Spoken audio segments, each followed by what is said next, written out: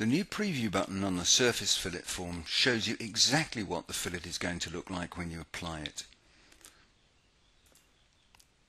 As always, you can go in and change the radii to give yourself a variable radius fillet,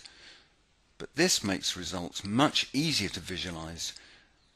and you can know that the fillet is going to be absolutely correct before you press the apply button.